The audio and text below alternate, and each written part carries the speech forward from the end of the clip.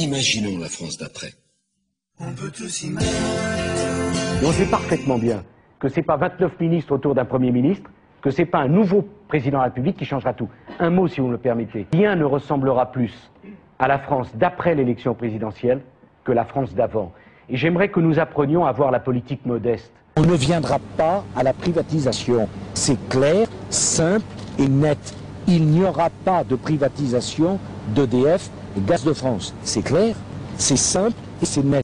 Il est en effet clair qu'EDF et Gaz de France doivent pouvoir lutter à armes égales avec leurs concurrents. Pour cela, nous devons les transformer d'établissements publics en sociétés anonymes. Et s'agissant de l'immigration, je veux aussi que les choses soient claires. Je n'ai jamais été, Christine O'Crane, pour l'immigration zéro. Il faut déclarer comme objectif le quota zéro d'immigration. Et cela, et cela sans que nous n'ayons de leçons de racisme à recevoir de personne. La jurisprudence du Conseil d'État est précise. Pas de signe ostentatoire. Et Saint-Esprit descende sur ce bateau et son équipage. Amen.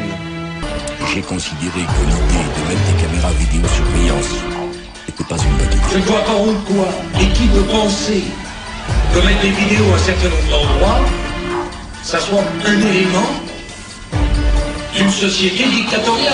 Fin 2005, les 330 salariés sont en colère. Leur cible numéro 1, Nicolas Sarkozy. Ils viennent d'apprendre que le ministère de l'Intérieur a choisi Auberture, une société privée pour fabriquer les nouveaux passeports français. Alors j'ai déjà vu des reportages malhonnêtes, mais de cette nature, c'est assez rare. Je vous félicite. Il y a eu un appel d'offres, madame. C'est justement cet appel d'offres euh, qui n'avait pas lieu d'être.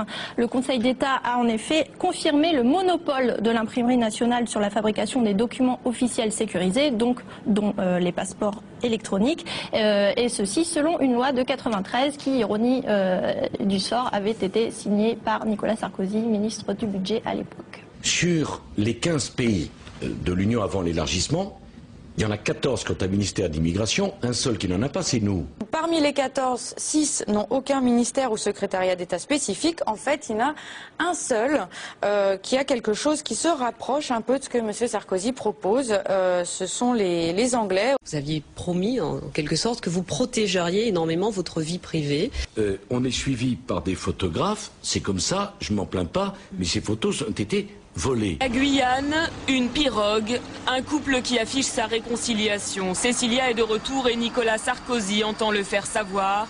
Il s'était engagé à rester discret et à ne plus mélanger les genres. Une promesse vite oubliée à dix mois de l'élection présidentielle. Étudiant en droit, Nicolas Sarkozy trouve des petits boulots, un épisode que ses amis politiques adorent mettre en avant. Tous les membres de Neuilly euh, vont pas euh, bosser euh, euh, chez le fleuriste euh, le, le week-end ou chez le, le- le glacier pour se payer leurs études. Aujourd'hui, ce mythe de Nicolas travaillant pour payer ses études fait un peu sourire sa maman.